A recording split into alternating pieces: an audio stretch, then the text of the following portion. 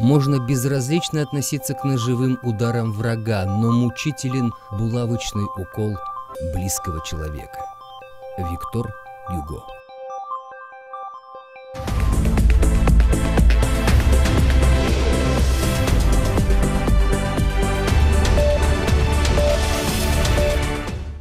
Вы смотрите новости на телеканале Ошпирим. Для вас работает наша новостная команда и я, Роза Курманбекова. Здравствуйте. Развитие двустороннего сотрудничества в сферах торговли, сельского хозяйства, туризма и образования. С такой целью в Кыргызстан прибыл с официальным визитом премьер-министр Республики Корея. Отметим, что в лице главы Кабмина Лина Кьон впервые посетил нашу страну. Об итогах переговоров расскажет наш корреспондент Мирим Кубанчбек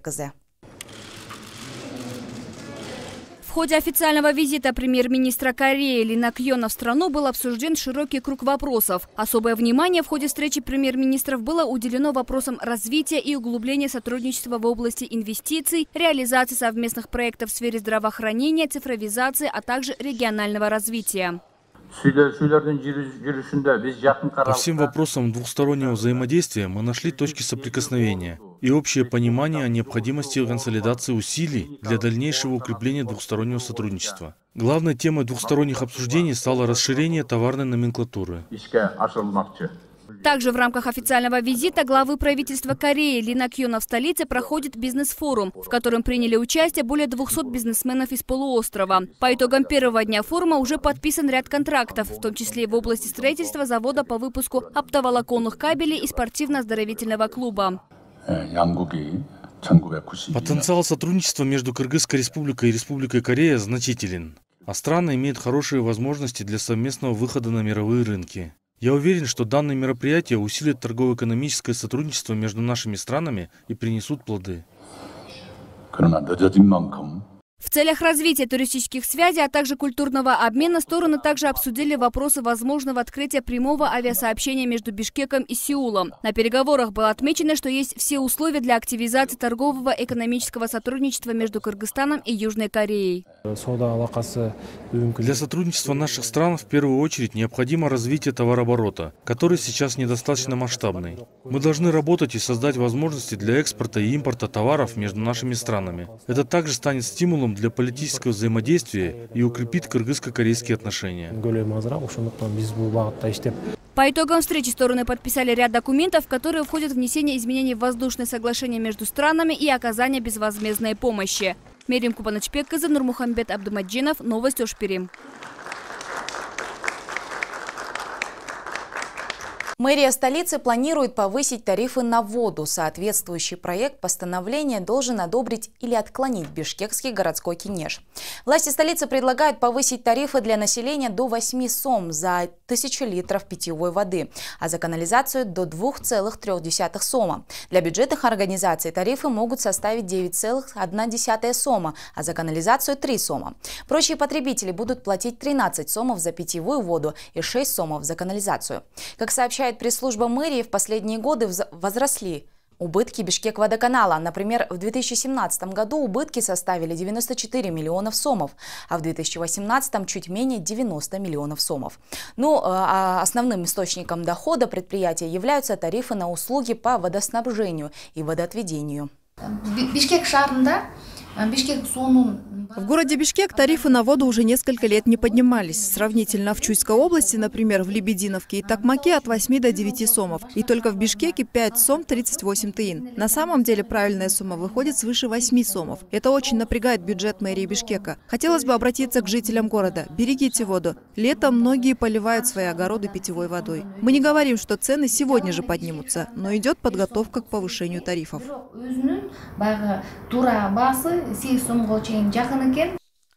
Что грозит нарушителям ПДД, не являющимся владельцами авто, пояснили в ГОБДД. Если основываться на законе, штраф должен уплатить собственник автомобиля, а не сам нарушитель. Однако это не значит, что водитель останется безнаказанным. По некоторым оценкам, около половины автолюбителей страны ездят на автомобилях, оформленных по доверенности.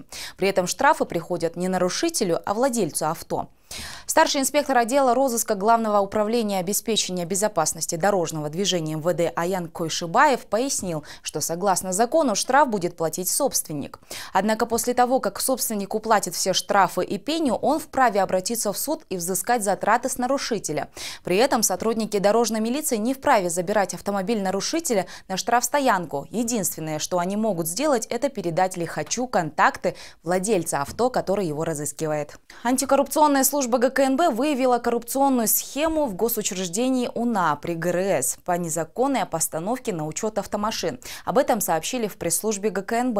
АКС расследует уголовные дела в отношении должностных лиц Департамента регистрации транспортных средств и водительского состава, которые организовали коррупционную схему по легализации авто, ввезенных на территорию Кыргызстана без уплаты таможенных платежей в ущерб государственному бюджету. Были задержаны два, две автомашины марок Lexus и Chevrolet, которые были завезены незаконно. Предварительный ущерб от ввоза регистрации указанных автомашин на территорию Кыргызстана составляет 2 миллиона 608 тысяч сомов, сообщили в ГКНБ. Сейчас АКС работает над выявлением аналогичных фактов легализации авто и причастности сотрудников ГРС к коррупционным схемам. Для Джогорку Кенеша июль отмечен месяцем встречи с народом. В настоящее время депутаты выезжают в разные уголки страны, чтобы ознакомиться с проблемами местных жителей. Так и слуги народа Улан Примов и Улугбек Урмонов посетили Алайский и Чунгалайский районы, чтобы на месте изучить вопросы, беспокоящие население. Наряду с парламентариями регион посетили и заместители различных министерств. О том, какие вопросы обсуждались на встрече нардепов с народом, смотрите далее в сюжете. Thank you.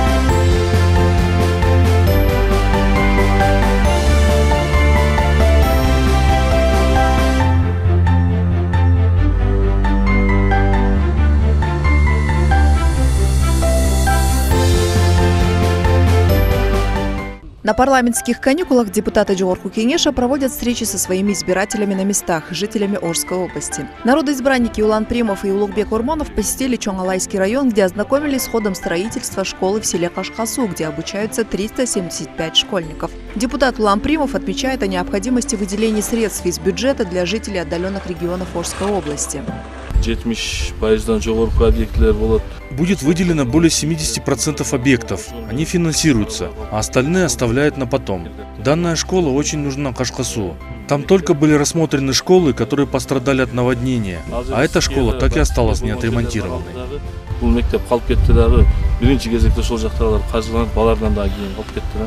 Средняя школа имени Ленина в селе Харамык была построена в прошлом веке. С тех пор в учебном заведении не проводился капитальный ремонт. Денег, выделенных на обновление школы, недостаточно, сообщают строители. Это значительно растягивает срок окончания ремонта. 8 миллион 600 сом қаралды. На ремонт было выделено 8 миллионов. Как вы сами видите, 70% э, ремонтных работ закончены. Дай бог, если выделит остальную часть денег, то мы успеем завершить срок все работы. Э,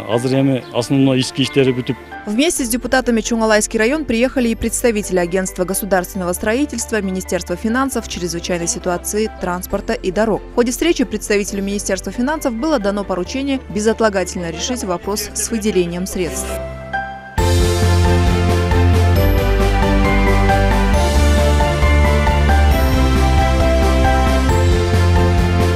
Далее депутаты направились в село Дород-Коргон в Чунгалайском районе. Было отмечено, что село находится под угрозой затопления, и если сейчас не решить проблему, последствия могут быть плачевными. Нужно в кратчайшие сроки производить берегоукрепительные работы, отметили депутаты. Представители власти пообещали решить вопрос в соответствующих комитетах Джорку Кенеша. Кичине көрүнүп турса керек мына ойком ушундай мындай чыгып тур экен ал азыр каналга тоскоолдук болбогон жагыны Кроме этого, народоизбранники посетили один из крупнейших каналов Щебеджи-Кенди. Строительство канала является приоритетной задачей Улана Примова, так как от начала строительства он всячески содействовал выделению средств из бюджета. Депутат заявил, что этот вопрос у него остается под особым контролем.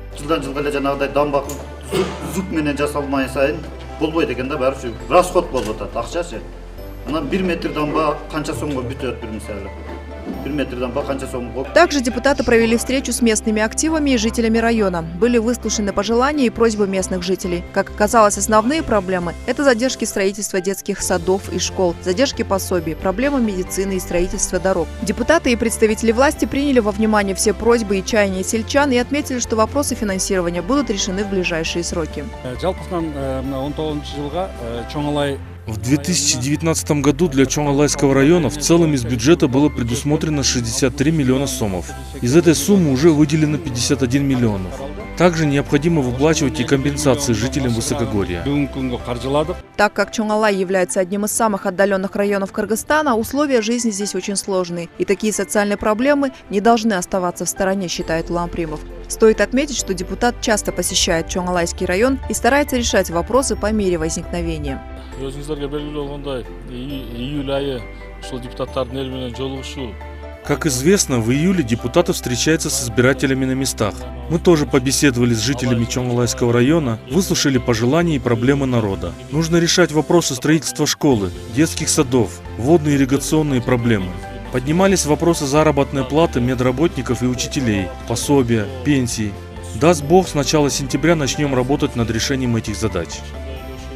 Пенсия айлык акы мугалимдердин медиктердин дагы ошо окшогон көптөгөн маселелер көтөрүлүп Строительство арки при въезде в село Гульчо было приостановлено из-за недостаточного финансирования. Тогда депутат Лампримов принял решение и взял все дальнейшие расходы на себя. На сегодня работа практически подходит к завершению. бул алайдын күлчөнүн киреберисине курулуп аткан арка көп жылдан бери туруп калган эле Эта арка уже давно простаивала недостроенной. Такой большой подарок преподнес своему народу. Эта работа требует немалых затрат и сил. Видно, что старается для народа. Желаем ему успехов.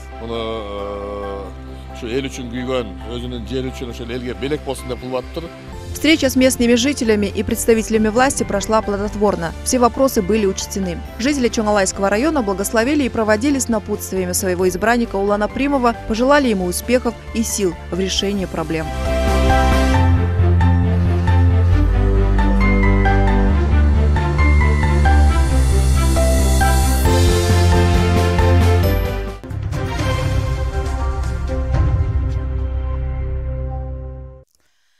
К новостям в мире. Сегодня, 18 июля, в японском городе Киото вспухнул пожар в здании анимационной студии. В результате погибли более 20 человек и около 40 пострадали.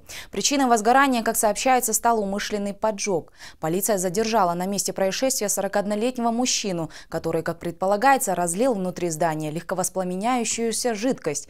Сам он также пострадал и был доставлен в больницу. В тушении огня были задействованы три десятка расчетов. Пожар уже потушен. Сильнее всего пострадали второй и третий этаж здания. Вспышка вируса Эбола в Демократической Республике Конго является чрезвычайной ситуацией международного масштаба. Об этом заявил генеральный директор Всемирной организации здравоохранения Тедрос Гебреесус. За последнюю неделю вирус распространился в двухмиллионном городе Гоме. По данным Гебреесуса, риск распространения Эболы в стране остается высоким. На данный момент в Конго зарегистрированы 2512 случаев заболевания. От вирусной лихорадки погибло 1676 человек и всего лишь 703 выздоровело. Ежедневно в среднем выявляются 12 случаев заболевания. В 2015 году в Африке эпидемия затронула три страны – Гвинею, Сьерра-Леоне и Либерию. По данным Всемирной организации здравоохранения, во время последней крупной эпидемии тогда были заражены 28 600 человек, более 11 тысяч скончались. Болезнь, вызванная вирусом Эбола, острая вирусная инфекция, поражающая людей и некоторые виды животных. Швейцарской деревне Монтищага, расположенной на юге страны, продают дома за символическую цену, а точнее за один швейцарский франк, что в переводе на отечественную валюту составляет 70 сомов. Это предложение распространяется на обветшавшие каменные дома в кантоне Тичина, частично или почти полностью разрушенные. Муниципальные власти отмечают, что все постройки подключены к водопроводу. Недвижимость находится в горах рядом с озером Лагомаджоре. Э, деревня расположена неподалеку неподалеку от итальянской границы, поэтому оттуда можно быстро добраться до Милана и озера Кома. Будущие владельцы обязаны отреставрировать здание. Местные власти надеются, что подобная распродажа поможет вдохнуть жизнь в деревню. Они собираются предложить новым жителям вакансии рыбаков, фермеров, строителей и пекарей.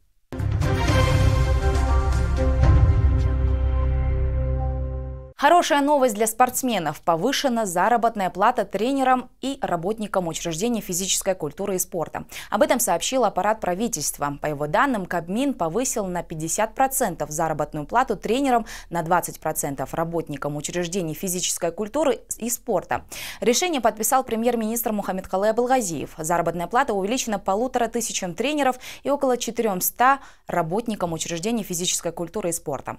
Кроме того, постановлением Кабмина оптимизировали оптимизирована выплата стипендий, достигшим высоких результатов на международных соревнованиях, в том числе спортсменам, завоевавшим лицензии на Олимпийских и Паралимпийских играх.